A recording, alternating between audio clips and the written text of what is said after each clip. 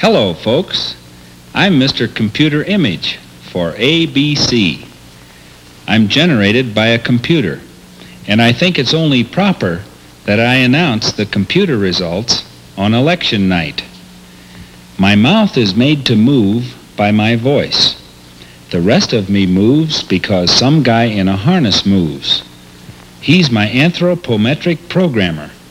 Whatever he does, I do.